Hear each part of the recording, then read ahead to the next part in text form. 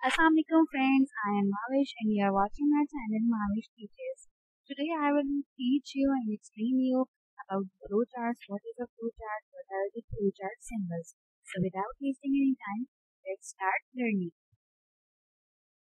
So first of all I will tell you that flowchart is a combination of two words that is flow and chart where flow means the direction, direction of something moving chart means a map. So flow chart means a map or a diagram that shows the direction of flow of something that can anything.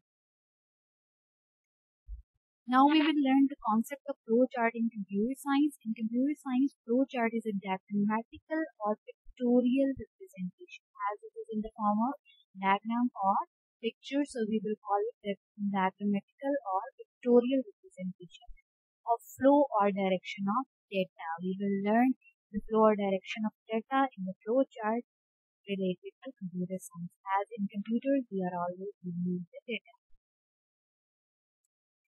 Flow chart in problem solving. What's the role of flow chart in problem solving?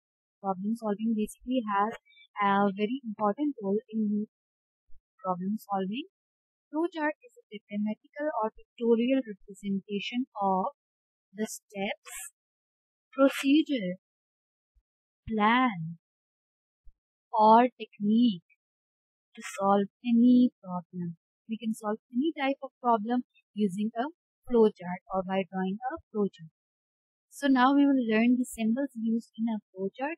First of all, the most important symbol used in a flowchart is the oval symbol or oval shape. We will use oval shape to represent start and stop of the flowchart. So this is the oval symbol. We also called it a rounded rectangle. Next symbol is parallelogram. We use parallelogram in flowcharts for representing input and output. So this is the parallelogram. It is basically a tilted rectangle. Then processing. We use rectangle symbol for, for representing processing operation.